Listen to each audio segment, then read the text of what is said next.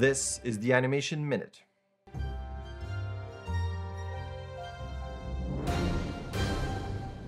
As always, let's start with jobs. Lucid Games is looking for senior technical animator and senior animator.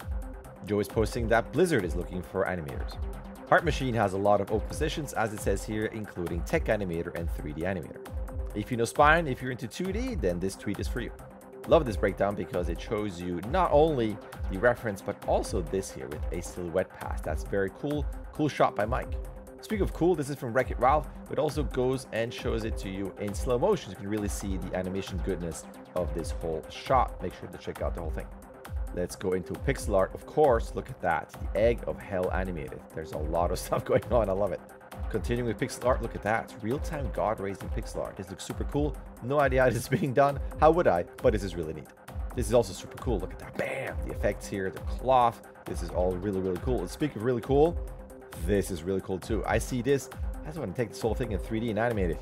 And look at this collection. You have to magnify and do a, a full screen zoom into this but look at all the little characters. Really nice work. Speaking of nice work, this is Star Wars meets Ghibli. Look at that. Super nice. I love this. I would love to see something with exactly these designs. I found a really cool top 10 Maya tools for animators at the AnimSchool blog. Make sure to check out the whole list. Was a big fan of Star Trek Lower Deck Season 1, and the special edition has a lot of really neat animation material as well, so make sure to check out the listing and all the information. If you need fantastic reference of someone with great reactions to things not working, this is for you. This is two minutes long and absolutely fantastic. This is really clever. It takes out the music, it just has her singing. it cracks me up. The actual physical performance if you'd be running and jumping around. So make sure to watch the whole thing.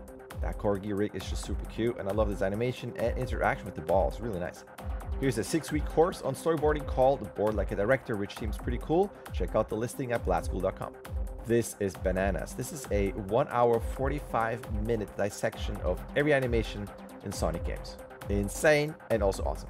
Disney Animators here has a thread where people can ask about their favorite shots and they list who animated them. That's a really cool idea and should be done for so many movies. I love this. Speaking of loving, look at those designs. Super cute. I love this. That in 3D, come on, I would love to animate this. Make sure to follow the Atherton brothers on Twitter. They always post very helpful stuff. This time it's an elephant walk cycle, but in general, they have really helpful information posted. And make sure to not miss the Kickstarters for their books. Speaking of creatures, I also have a beagle at home, so I have to love this. This is super cute. A wholesome loading widget. Pencil test. Look at his his right and the screen left arm as it goes through the sleeve and has to find it. So cool. I love it. Cool designs. Love it. But I think Metroid, I think actually pixel art. I would love another game in pixel art form.